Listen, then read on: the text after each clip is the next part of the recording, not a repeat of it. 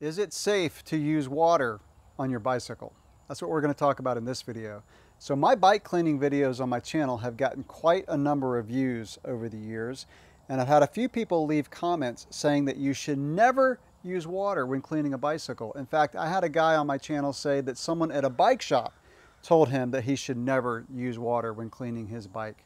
So in this video, I'm not only going to tell you that it's okay to wash your bike with water, but I'll go so far as to say that you should use water in some circumstances to avoid damaging the clear coat on your bike. There are professional mechanics all over the world who wash bikes with water. Have you ever watched a professional cyclocross race where the racers are coming into the pits, handing off their bike that's usually completely covered in mud to the mechanic, hopping on a freshly cleaned bike, and then going back out for another lap. While they're doing their next lap, their professional mechanic is hosing off their bike, getting it completely clean, and he's only got like seven or eight minutes to do that before the guy comes back through. Now, do you think a professional mechanic would hand off a bike to, let's say, Mathieu van der Poel that is compromised in its performance because it's been washed with water? No. I did a bike trip in Keystone, Colorado a few years ago where we stayed right at the village where they were renting downhill bikes. And every night the mechanic was hosing off the rental downhill bikes for the next day. And that was happening day after day for the whole summer. And there are countless other mechanics who use water to clean bikes. Now, let me tell you why I think you should use water when a bike is really muddy. I used to race a lot of cyclocross and there are a few races where my bike was completely covered in mud and by the time I got home the mud had dried.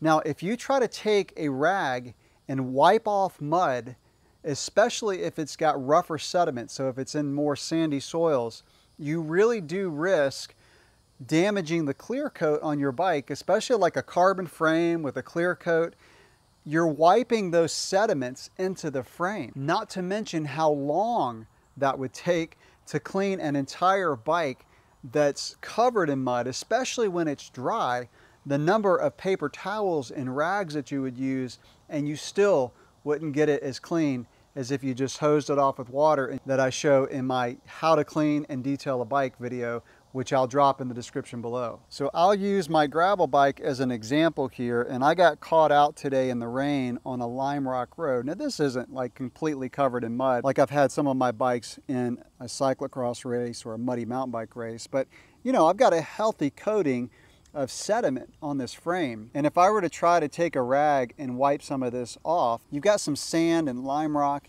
in this coating. And again, if I did that over and over again, I would really risk putting micro scratches in the clear coat of my frame.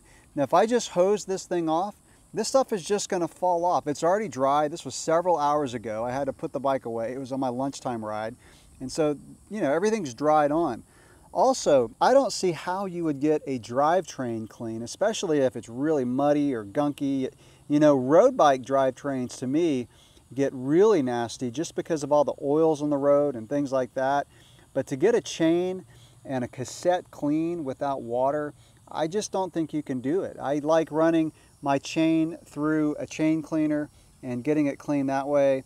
And you know, that's water and degreaser. And then when I'm done, I just hose it off. Again, I've got all those techniques below in that video, how to clean and detail a bicycle but I just wanted to show this one as an example. So it's true, you should not force water in the areas where there are bearings, headset bearings, bottom bracket bearings, hub bearings, using like a high pressure sprayer or even the jet mode on your hose nozzle. And you should never use a high pressure sprayer on any part of your bike at like a car wash where you put coins in and you know, you just you know, they're made for washing cars, not for bikes. So that is a situation that you should not use water.